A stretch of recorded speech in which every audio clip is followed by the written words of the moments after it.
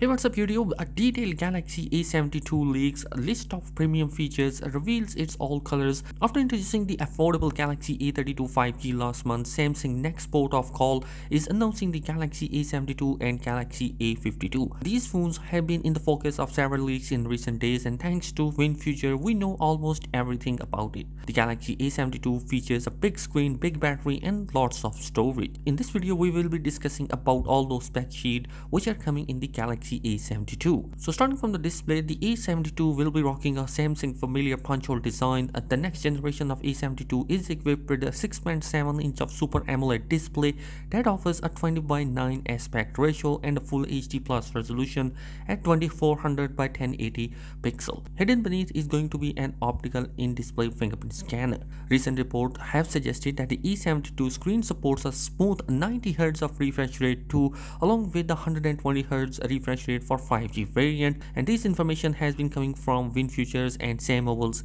well on the back we have a quad camera setup on the back side and with that Samsung hasn't cut any corners with the A72.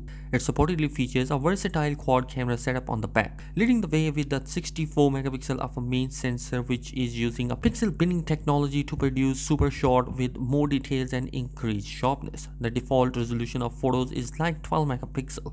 Samsung has also fitted the A72 with a 12 megapixel ultra wide shooter, 2 megapixel macro camera, rear LED flashlight and a 32 megapixel selfie camera. As far as the 5 megapixel depth sensor that Samsung used on the back of the last year A71, that has been replaced with a fully fledged 2-time telephoto cameras that boost an 8 megapixel resolution. WinFuture points out that some of this camera info contradict earlier reports, so do take it as a pinch of salt. Internally, the Galaxy A72 5G is coming with a Snapdragon Snapdragon 750G processor inside courtesy to SamMobile report and the 4G variant is going to be coming with a Snapdragon 720G inside. With that it's going to be coming with 6 gigs or 8 gigs of RAM inside and the 128 and 256 gigs of internal storage is going to be coming. One of the things which I personally like is the support of micro SD card slot inside the device talking about the internals uh, the battery capacity is going to be generous and samsung is going to provide a massive 5000 milliamp of a battery capacity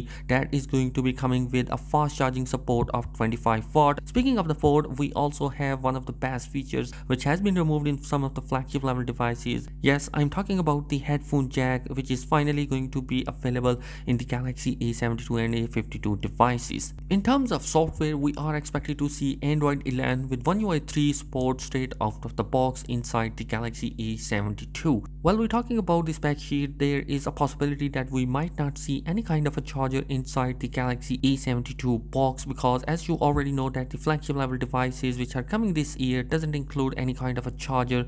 So in the mid-range we can expect from Samsung as well that they may not put that charger inside.